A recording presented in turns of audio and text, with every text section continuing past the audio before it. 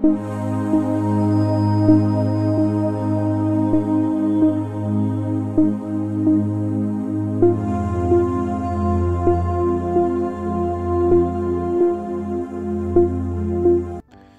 안녕하세요. 오이 심은 지 이제 20 네, 2일이 됐습니다. 어 앞전 쇼트 짧은 영상에 이렇게 오이 꽃을 왜 땄는지 제가 올린 적이 있습니다 오이 꽃을 따는 이유는 물론 오이가 잘 크게 하기 위해서이죠 자 오이를 딴 이유가 있습니다 지금 보면은 오이를 몇 마디를 땄을까요? 오이를 보세요. 하나, 둘, 셋, 넷, 다섯. 예. 여기는 이제 전목원 자리라 전목원 자리 다섯.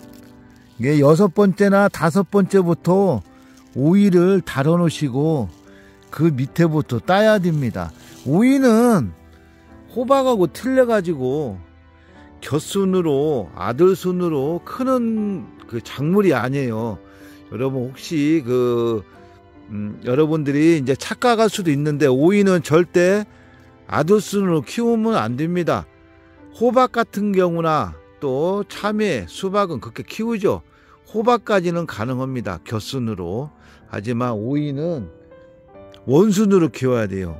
오이 곁순으로 키워서 따먹는 방법은 얘네들을 어느 정도 오이가 어, 성장하고 20마디, 25마디 이상 됐을 때 이제 곁순 정리로 해서 키워먹는 방법은 있습니다. 하지만 이 어렸을 때부터 곁순으로 키워서 원순을 잘 넣으면 안 돼요. 어, 호박은 이 곁순이 엄청 빨리 자랍니다. 하지만 오이는 이렇게 곁순이 엄청 느리게 자라요. 예를 들어서 얘를 키우려고 역을 잘랐다 그러면은 얘 크는데 또 20일이 걸려요. 무지 시간이 많이 걸리고 오이 곁순은 엄청 느리게 자라기 때문에 절대 오이 곁순을 키워 드시려고 하시면 안 됩니다. 어, 전문 농가 같은 경우 곁순을 키워서 석 달, 넉 달 저도 그렇게 따먹고 있었는데 이 텃밭에서는 그렇게 절대 되지가 않아요. 절대 텃밭에서 여러분 곁순 따서 곁순 키워서 드시려고 하시면 안 됩니다. 자 이렇게 오이를 다섯 마디 여섯 마디 따고 이렇게 이제 얘가 처음에 수확할 오이입니다. 오이를 얘네들이 왜 따 버리냐면은 얘네들이 있으면은 영양 공급이 원활하지가 않죠. 얘네들이 영양을 다 먹고 하지만 근다고서 얘네들이 오이가 정상적으로 달리는 오이가 아니에요. 조그만하고 크지도 않고 휘어지고 못생긴 오이들이 여기에 달리는 거예요. 그래서 마디 다섯 마디 여섯 마디까지는 따내고 이제 이게 여섯 마디째 있는 그 오이입니다. 모양이 좀 쭉 뻗어 있죠. 저렇게 일곱 마디째도 있는 오이고 또 얘도 있고 모양이 원활하게 나올 수 있고 상품물 또 맛을 갖기 위해서 이렇게 따내는 거예요. 특히 이제 밑에 것은 씁니다. 왜 쓰냐면은요, 오이는 물을 많이 주면 안 쓴데 왜 쓰냐면은 어렸을 때부터 물을 많이 주고 키우면은 어떤 현상이 생기냐면은 이 절간이라고 그러죠. 마디가 5cm 이상 커집니다. 이 마디가 커지면은 오이가 달려도 오이가 성장을 못하죠. 그리고 또 뭐가 있냐 입이 커집니다. 입이 보시면은 여러분 이게 얼마 될 것 같아요? 한 20, 예, 한 어, 17cm, 18cm 정도 돼요. 오이는 입이 적어도 됩니다. 얘가 이제 뿌리 건강을 위해서 저희가 어, 또 나무, 어, 나무가 오이가 수확할 때 영양 공급을 하면 더 커지죠. 하지만 여러분이 오이 따기 전에 이 오이 잎이 20cm 이상 넘어가면은 여러분 이제 나무가 잘못돼 가고 있는 거예요. 물을 줄여야 됩니다.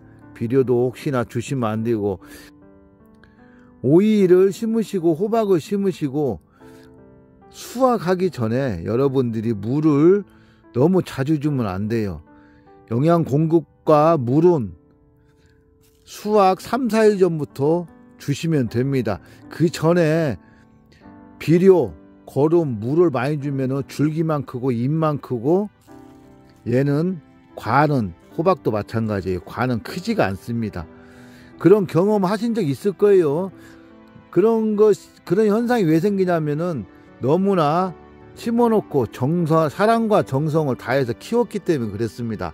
사랑과 정성은 처음에 주지 마시고 죽지 않게만 주시고 나중에 열매가 달리고 수확할 때 사랑과 정성을 여러분이 다 주셔야 돼요. 지금처럼 비가 정기적으로 조금씩 내릴 때는 예, 여러분이 나무가 죽지 않게만 주시면 돼요. 그리고 꼭 입이 커지고 이 줄기가 커지면은 여러분들이 물을 줄여야 됩니다. 딱 물을 꺼내야 돼요. 농가에서는 또 다른 방법이 있지만 절대 그러시면 안 됩니다. 지금 보시면은 색깔이 이렇게 까만색이 있고 녹색이 있잖아요. 얘도 지금 어, 잘 크고 있는 거예요. 지금 물이 바닥에 많이 있는 겁니다. 이렇게 물기가 많이 있죠. 그래서 물을 지금 여름 끓은 지가 며칠 됐고 이제 어, 좀더 색깔이 진해지고 또 오이가 어, 크면서 이제 우리가 정식적으로 물을 주고 어, 영양 공급을 합니다. 자, 특히 그리고 저희 같은 경우는 비료를 사용을 안 합니다. 어, 일반 물 비료는 사용 안 하고 저희가 다른 그 비료를 쓰고 있어요. 노지는 괜찮은데 하우스 같은 경우는 염류가 쌓입니다. 염류가 쌓이면은 점점점 밭에 생산량이 줄어지고 뭘 심어도 농사가 잘 안 됩니다. 염류에 우리가 신경을 꼭 써야 됩니다. 자, 그래서 어, 우리가 오이를 또 호박을 또 과채 어느 작물을 하시든 간에 잎이 절대 커지면 안 되고 줄기가 커지면 안 돼요. 이렇게 줄기가 작고 굵게 뻗고 나가야 그 영양분이 이 오이한테 다 가는 겁니다. 비가 와가지고 어쩔 수 없이 크는 것은 어쩔 수 없죠. 하지만 일부러 어렸을 때 어, 제가 댓글 오는 것도 그러고 남길 때 항상 말씀드리는 게 있어요. 어렸을 때 절대 비료 주지 마시고 거름 많이 주지 마시고 꼭 언제다 꼭 오이, 호박, 딱이 3, 4일 전에 물과 비료나 거름을 주셔야 됩니다.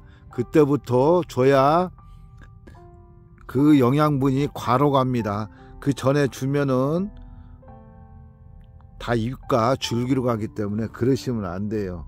해마다 잘 키우시는 분도 계시고 또 잎과 줄기로만 가서 못 키워 드신 분도 계십니다. 그리고 꼭 오이는 병충해에 약합니다. 병에 바이러스, 녹균, 흰가루, 또 비만이 오면은 다 녹습니다.